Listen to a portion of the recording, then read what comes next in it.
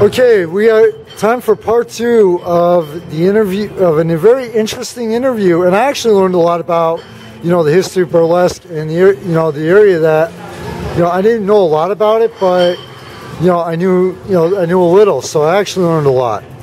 Um, now it's time for the personal side of it. Okay. How did you like start dancing, and then eventually? Um, how did you find your way into into this art form? Okay, well, I studied theater in college. I grew up dancing and performing and wanted to be a professional actress. So I studied theater, and after I graduated, I spent some time in New York auditioning and doing things like that, and actually came back to the area because I was burned out on living in the city and was ready to start my life, get married, start a family, which I did, and um, had a son and was home with my son. And um, after being home for a little while, I realized that I really needed to get back into a creative outlet, a performance outlet. And knew what burlesque was from my theater training. And I went to see actually a show at the Mauch Chunk Opera House. I went to see the Halloween themed show Burlesque and absolutely loved it. And part of the reason why I loved it and wanted to get involved in it is because neo burlesque, modern burlesque, and celebrates performers, women of all ages, shapes, and sizes. It's not just the classical, what do you think of the classical, beauteous, you know, beautiful showgirl. All different types are celebrated, and I thought that that was really fun and really unique and different. Part of another reason why I wanted to get into burlesque is because it's basically a DIY art form.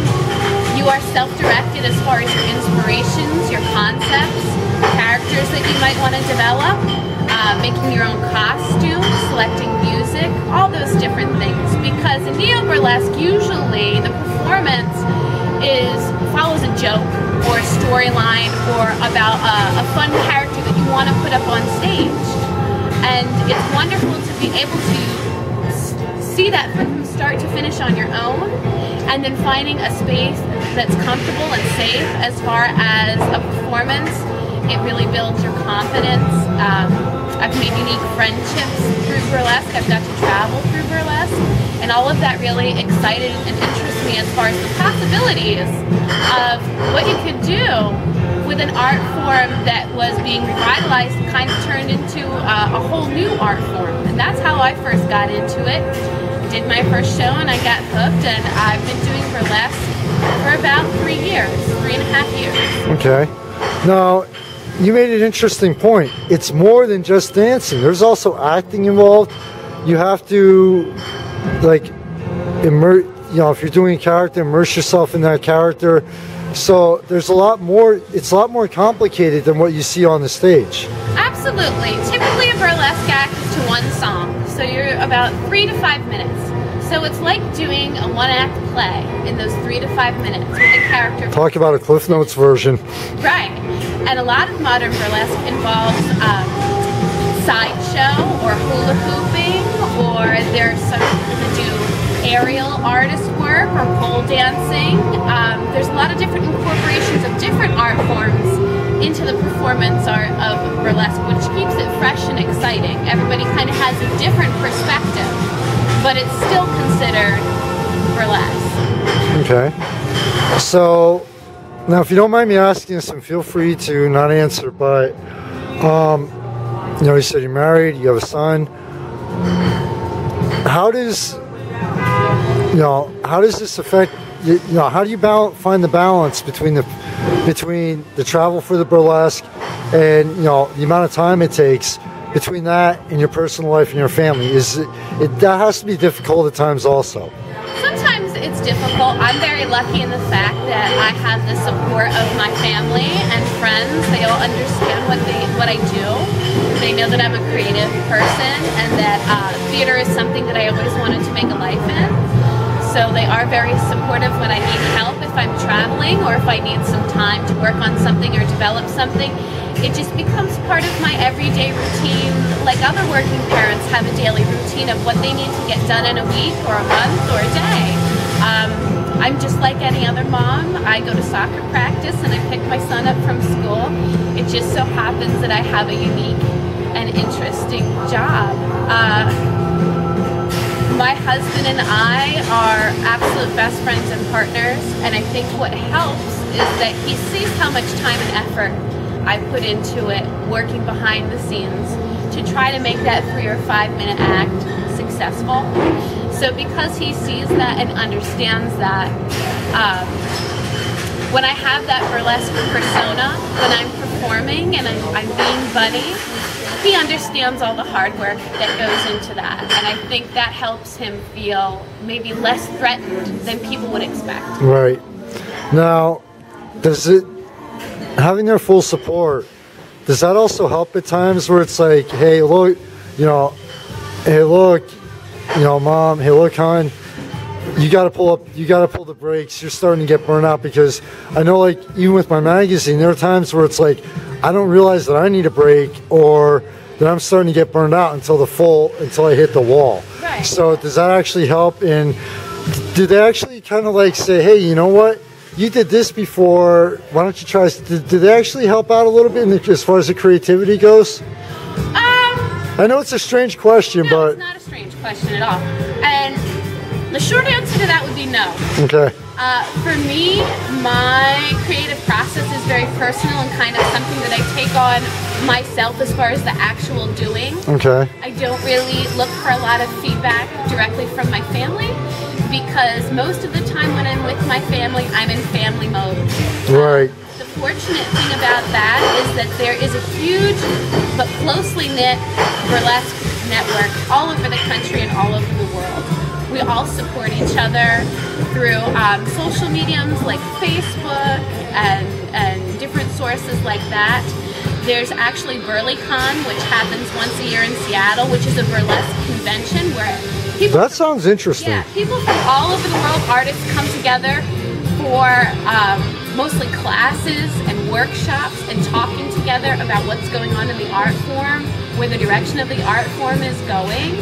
So that really helps in the times that you need um, you need creative juice, Right. but also it, it, it's good because you can commiserate with other performers. It's almost like an out. extended family. It is. It's very much an extended family. It's the most positive um, performance community I've ever been involved in as far as there's no ageism in burlesque. There's no issues. Um, whatever gender identity you are is welcome. Whatever size you are is welcome. Whatever your background or walk in life is, you can find a home in this artistic community if you want to be a part of it. So the times when I get really burnt out, or I'm like, you know what, I've had enough. I can hop on the computer and see something that a friend is doing or struggling with, or go to YouTube and find a beautiful performance from somebody in Japan or in Australia or in, you know, Kalamazoo. Mm-hmm. And burlesque is happening and it, it really feeds that creativity. Sometimes you need to get out of your own head and see what the rest of the world is doing. Yeah. That really helps. I, ha- I have a friend who kind of like taught me that lesson this past Thursday, where it was like, without even trying, it was like I was starting to get really burned out and really exhausted and everything. And just spending a day with her and then her son, it was like, you know what? It just like, boom, it was the breakthing. So yeah, it's And the audiences are terrific. Um, what's really cool about the audience for burlesque, and especially here in the Lehigh Valley, is that we have a variety of ages that come to burlesque shows. We now we're talking 18 and up here though. Oh yes, absolutely. 18 and up or 21 and up, Right. depending on the venue. But we get young people, we get older couples, we get uh, women who want to have like a fun girls' night out. It's uh, a really varied makeup of who the audience is. And burlesque is a fun and a confidence building art form. And it not only builds your own confidence as a performer, but that shines through to the experience to everyone watching. You can really um, build fun moments, moments of openness, acceptance, confidence, um, sensuality with an audience of people that also have just as diverse backgrounds as us, the performers, do. And when that happens and when it's really good, you can make a fan of one, one and also one feeds off the other. Am I correct? Where it's Oh, like absolutely. You create, you create. It's almost like what I call the band crowd energy loop with when I go to review live music, where you create the energy, then all of a sudden the audience feeds off and they give it back to you, and it's like that that loop where both sides have more fun and have an overall better experience. Am I correct? Absolutely, because burlesque, while being an old art form, um, it's not like going to an opera or a play where you're watching the scene on stage and you're in the dark in theater and you're only. Um, you feel like you can only respond and clap at the end of it. Burlesque is very different. Performers perform directly to their audience and look for interaction with audience members. So you can hoot and holler and clap and laugh and enjoy yourself as an audience member throughout the entire thing and feel like that you're you're part of what's happening and that that energy is transferring back and forth rather than you having to sit silently and, and passively and waiting for them to take their final bow Right. for you to have any kind of reaction. Okay. Well, I think we've given enough of a pardon the pun, and I know that this is a really bad joke, but I think we've given the, everybody enough of a tease about this that, you know, pardon the word, but that I think it's, you know, enough to grab their attention and, you know, at least make them want to go out and check out the, the true art form. Absolutely. Um, Like I told you, I always ask one question at the end, and this is basically just to help people out who, you know, I'm sure you get women there who, you know, who show who come to shows that, you know, I might want, you know, yeah, this looks cool, you know, interesting, you know, are there cla- you know, are, are there classes? Um, I'd love to, you know, see if I might be interested in this. What advice would you give them? My advice to anyone um, who's interested in learning about burlesque more locally and burlesque as a whole is if you get on, you know, the computer and Google burlesque, you're going to get all kinds of information. But there are some really good resources. The New York School of Burlesque has a website. They have wonderful classes and resources. The Burlesque Hall of Fame in Las Vegas has a website. They have um, a network of classes and different events that are happening all over the country, as well as documenting the history of burlesque.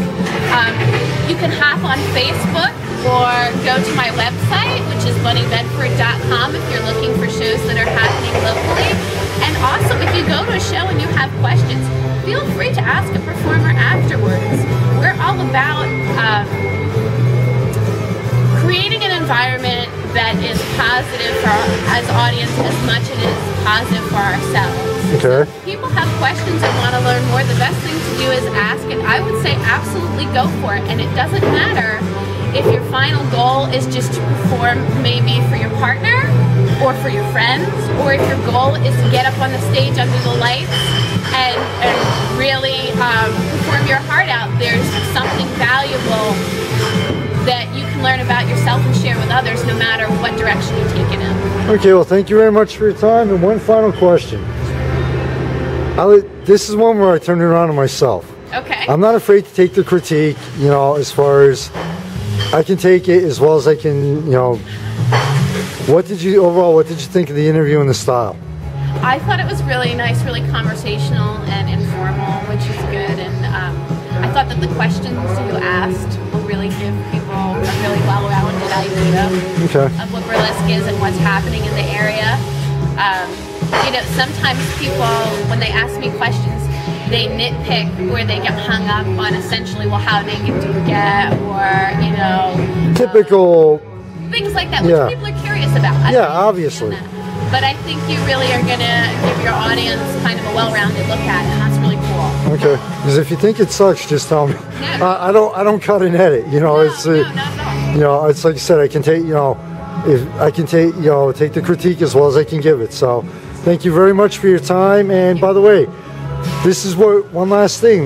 This is where you started here at the Allentown Brewworks. Is where you first. Yep, the Allentown Brewworks was was the first venue in the Lehigh Valley that welcomed burlesque in their venues and, and their doors on a regular basis. Their staff has always been fantastic every time I've been here, and the audience has always been terrific. I love it here and hope to do more burlesque here in the future. Okay. Well, thank you very much for your time.